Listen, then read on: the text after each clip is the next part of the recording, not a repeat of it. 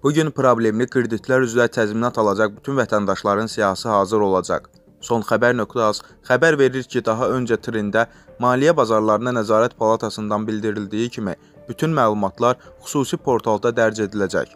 Məlumatın toplanması ilə əlaqədar bəzi vətəndaşlar təzminatın məbləğini müəyyən edə bilmirdi. Bu gündən etibarən fiziki şəxslər təkcə təzminat barədə deyil, həmçinin onların kreditlərinin restrukturizasiyası barədə məlumat ala biləcəklər. Problemli kreditlər barədə məlumatlar müştərilərin kredit götürdüyü banklara ötürüləcək.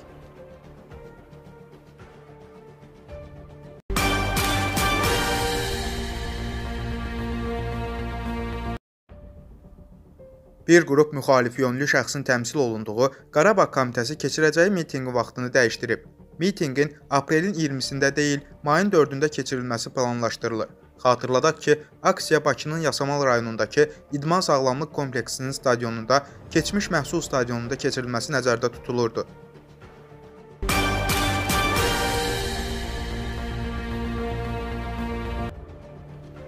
Azərbaycanlı jurnalist Rusiyadan deport edilməsi xəbərinə aydınlıq gətirib.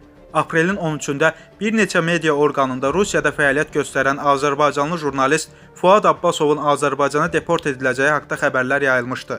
Xəbərlərdə bildirilirdi ki, aprelin 12-sində məhkəmə Moskva vilayətinin miqrasiya xidmətinin müraciəti əsasında Fuad Abbasovu saxlaması və evində axtarış aparılması haqqında qərar çıxarıb. Aprelin 15-də onun Azərbaycana deport ediləcəyi gözlənilir. Abbasov bir neçə ildir Rusiyada yaşayır. Türkiyənin bir neçə media quruluşunun Moskva müxbiri olan jurnalist Rusiya telemekanında Ermənistanın Azərbaycana hərbi təcavüzü ilə bağlı tok-şoularda rəsmi Bakının mövqeyinin ən qatı müdafiəçisi kimi tanınır. Müsavat.com xəbər verir ki, Fuad Abbasov axşama doğru yaydığı açıqlamada bildirib ki, narahatçılığa heç bir əsas yoxdur. Azadlıqdayam, fəaliyyətimlə məşğulam. Evimdə heç bir axtarış aparılmayıb, heç yerə də çağırılmamışam. Deportasiya edilməyimlə bağlı xəbərlər əsassızdır. Bir neçə ay öncə Fuad Abbasov Azərbaycanlılar və çeçenlər arasında baş verən qanlı toqquşmadan sonra provokasiyaların genişlənməməsi üçün tərəflər arasında barış missiyasının yerinə yetirilməsi ilə gündəmə gəlmişdi. Missiya uğurla nəticələnəndən sonra Rusiyanın müxtəlif vilayətlərində fəaliyyət göstərən bir neçə Azərbaycan icması onun başçılığı ilə yeni diaspor qurumu yaratmaq təşəbbüsü irəli sürmüşdülər. Ancaq Rusiya Azərbaycanlıları Konqresi və Rusiya Azərbaycanlıların Milli Mədəni Muxtariyyətinin təşəbbüsə etirazlarından sonra məsələ açıq qalmışdı. Müsavat.com-a başqa mənbədən məlumat daxil olub ki, Fuad Abbasov aprelin 10-dan Bakıdadır və yayılan xəbərlərin heç bir əsası yoxdur. Həmin məlumata görə Fuad Abbasov Azərbaycana ailəvi işlərlə bağlı gəlib. Hal-hazırda o Xaçmaz rayonunda istirahət edir. Bu məlumatı tanınmış jurnalist Turan İbrahimov da Müsavat.com-a təsdiq edib. Müxbirimizin diqqətini Turan İbrahimovun sosial şəbəkədə bir paylaşımı cəlb edib. Oxucularımızın da gördüyü kimi o Fuad Abbasovla bərabər hansısa restorandan görüntü paylaşıb. Turan İbrahimov Müsavat.com müxbirinin sorğusuna münasibətdə bildirib ki, Fuad Abbasovla bağlı yayılan məlumatlar doğru deyil və o aprelin 10-dan Azərbaycandadır. Fuad Abbasov özü isə Instagram səhifəsində maraqlı bir mətn paylaşıb. Orada qeyd edib ki, separatçılar və diasporanın bəzi fəalları arzularını gerçəklik kimi qələmə verirlər. Lakin Fuad Abbasov Afrikada da jurnalistdir.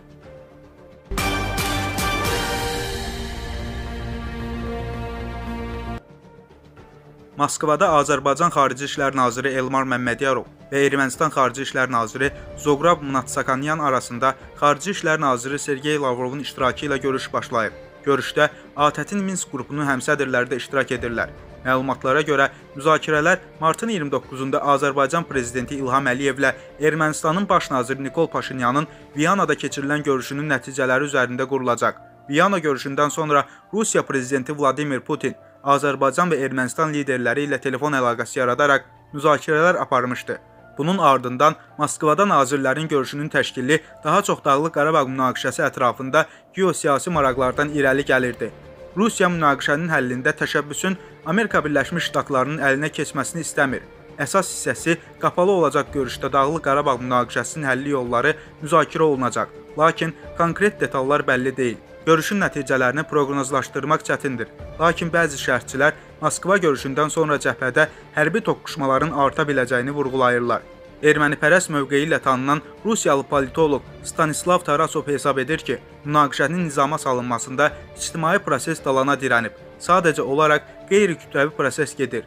Liderlərin və yüksək vəzifəli şəxslərin bəyanatları prosesin kiçik hissəsidir. Ola bilər ki, onlar prosesin dalana dirəndiyi təəssüratını yaradırlar. Açıq mübahisə edir, bir-birinin mövqeyini qəbul etmir, bir-birinin yanaşmalarını rədd edirlər, lakin həm də görüşə razılaşırlar. Bu o deməkdir ki, bizim bilmədiyimiz çağırışlar var.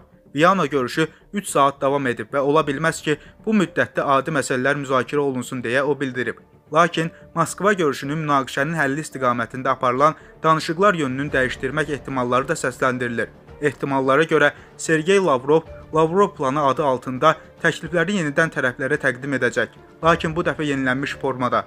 İstisna deyil ki, Rusiya Azərbaycanı razı salmaq üçün ilkin mərhələdə 5 yox, daha çox rayonun qaytarılması təklifi ilə çıxış etsin. O cümlədən Ermənistanın Türkiyə və Azərbaycanla kommunikasiyaların qurulması işini öz üzərinə götürməyi təklif etsin.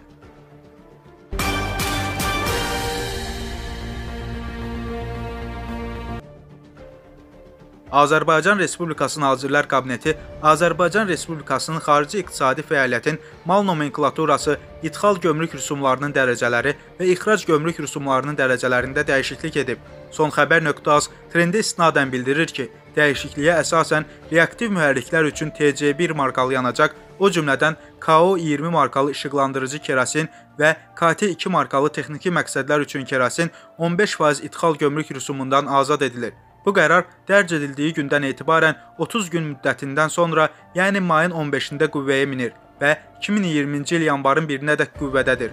Qərara əsasən reaktiv mühərriklər üçün digər yanacaq və digər məqsədlər üçün kerasinə 15% idxal gömrük rüsumu isə qüvvədə saxlanılır. Nazirlər Kabinetinin həmçinin Azərbaycan Respublikasının ərazisinə gətirilən aksiz vergisinə cəlb olunan malların aksiz dərəcələrində də dəyişiklik edib. Dəyişikliyə əsasən ölkəyə gətirilən reaktiv mühərriklər üçün TC1 markalı yanacaq, o cümlədən KO20 markalı işıqlandırıcı kerasin və KT2 markalı texniki məqsədlər üçün kerasinin 1 tonuna 1 manat aksiz vergisi tələb olunur. Bu qərar da 30 gündən sonra, yəni mayın 15-də qüvvəyə minir və 2020-ci il yanvarın 1-nədək qüvvədədir.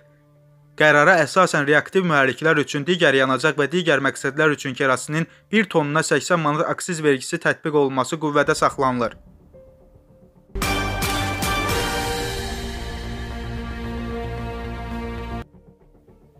Milli Məclisin deputatı Vahid Əhmədov Maliyyə Nazirliyinin Hesablama Palatasının hesabatı ilə bağlı ona qarşı ünvanladığı iradlara cavab verib. Millət vəkili yeniavaz.com-a verdiyi açıqlamada Maliyyə Nazirliyini hesabatı yaxşı oxumağa çağırıb. Xatırladaq ki, Vahid Əhmədov Milli Məclisin aprelin 9-da keçirilən plenar iclasında Hesablama Palatasının ötən ilki fəaliyyəti ilə bağlı hesabatın müzakirəsi zamanı bildirmişdi ki, palatanın hesabatını ümumiləşdirəndə ən çox nöqsan Maliyyə Nazirliyi, Əmək və Əhalinin Sosial Müdafiəsi Nazirliyi və Vergilər Nazirliyi ilə əlaqədardır.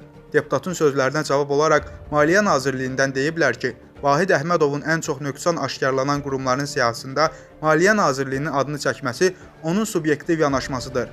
Palatanın 197 səhifədən ibarət olan 2018-ci il üzrə hesabatı ilə istənilən şəxs də tanış ola bilər və burada deputatın iddia etdiyi kimi Maliyyə Nazirliyində nöqsanların aşkarlanması ilə bağlı bir cümlə də belə yoxdur. Ona görə də deputat Vahid Əhmədovun bu mövqeyinə və düşüncələrinə, onun hansı faktlara və məntiqə söykəndiyinə şərh verməyi artıq hesab edirik.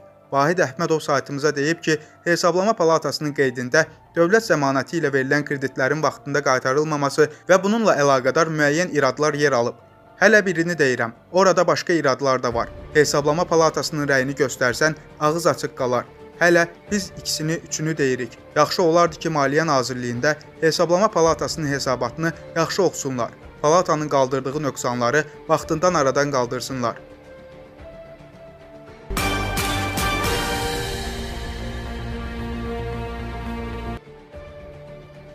Azərbaycan Respublikası Prezidenti İlham Əliyev vəkillər və vəkillik fəaliyyəti haqqında qanunda dəyişiklik edilməsi barədə qanun imzalayıb. Sənədə əsasən vəkil olmaq istəyən şəxslər yazılı test imtahanında müvəffəqiyyət qazanmadıqda həmin şəxslərə yenidən ixtisas imtahanında iştirak etmək imkanı veriləcək.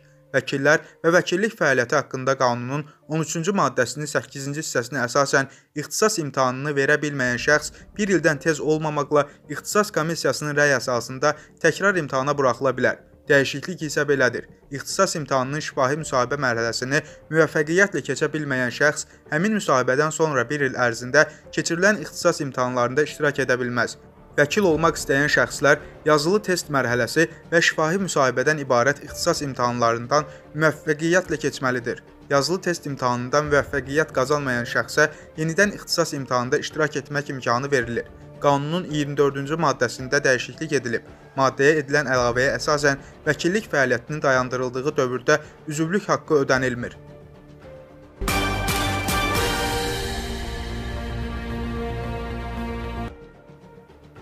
Bakı şəhər İcra Hakimiyyətinin başçısı Eldar Əzizov daha bir kadrına meriyada vəzifə verib.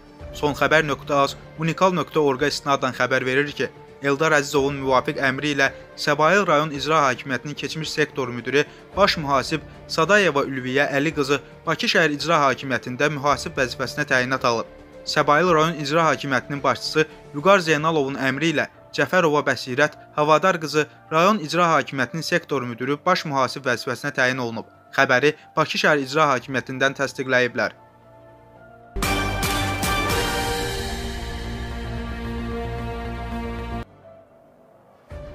Bu gün səhər saatlarından dumanlı hava şəraiti müşahidə olunub. Son xəbər.az-a hava şəraiti ilə əlaqədar Ekologiya və Təbii Sərvətlər Nazirliyinin Milli Hidrometeorologiya Departamentinin Hidrometeoroloji Proqnozlar Bürosunun direktoru Gülşad Məmmədova danışarkən söyləyib ki, axşam saatlarından başlayaraq paytaxtda dumanlı hava şəraiti müşahidə olunur. Gülşad Məmmədovun sözlərinə görə bu gün gün ərzində dumanlı hava şəraiti müşahidə olunacaq. Cənub-şərq küləyi üstünlük təşkil edəcək. Havanın temperaturu 13-18 dərəcəyə yüksələcək. İlkin məlumat olaraq sabah günün birinci yarısına qədər havanın dumanlı olacağı müşahidə olunur. Günorta saatlarından sonra hava dəyişkən əsasən də yağmursuz keçəcək. Mülayim hava şəraiti müşahidə olunacaq.